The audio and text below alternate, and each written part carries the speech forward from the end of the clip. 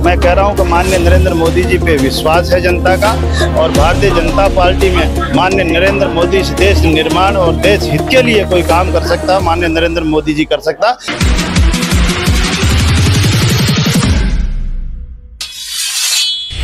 नमस्कार, आप देख रहे हैं डेली डायरी न्यूज़। चुनावी सरगर्मी इस समय अपने चरम पर है।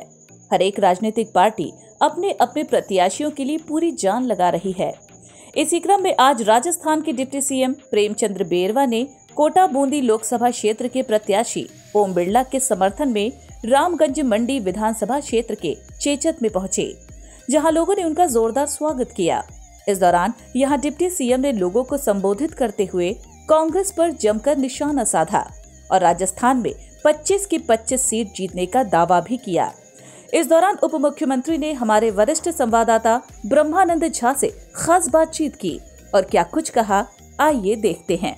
नमस्कार मैं हूँ ब्रह्मानंद झा और आप देख रहे हैं डेली न्यूज़। हमारे साथ मौजूद राजस्थान राजस्थान के डिप्टी सीएम। सर क्या कुछ कहें? चुनावी माहौल क्या कुछ चल रहा है राजस्थान में? देखो भारतीय जनता पार्टी में जब से मोदी जी ने भारतीय जनता पार्टी के प्रधानमंत्री बने थे उसके बाद इस हिंदुस्तान का मान और सम्मान बढ़ा है। और इतने काम जिनको हमारी पीढ़ियाँ इंतज़ार कर रही थी, वो काम वो करके गए। इनके कार्यकाल में कोई भी मंत्री भ्रष्टाचार में नहीं रहा। बाकी की सरकारें चलिए उनके मंत्री जेलों में या अभी भी बेलों में है।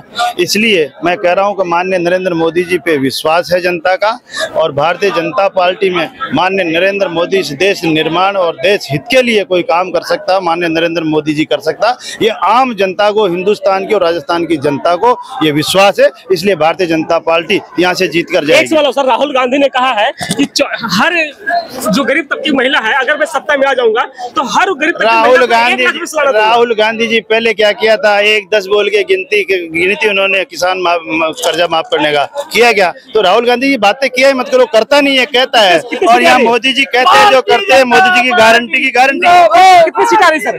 पच्चीस के पच्चीस सीटें। तो ये थे हमारे साथ राजस्थान के डिप्टी सीएम जिन्होंने कहा है कि राहुल गांधी तो पहले भी ऐसे कई वादे किए हैं, लेकिन उन्होंने पूरा नहीं किया है। और इस बार राजस्थान में 25 की 25 सीटें भारतीय जनता पार्टी ला रही है। अब ये वक्त ही बताएगा कि आखिर भारतीय जनता पार्टी राजस्थान में कितनी सीटें लाते हैं। कैमरामैन प्रशांत यादव के साथ मैं Brahmanand Jha, Daily Diary News, Kota, Rajasthan.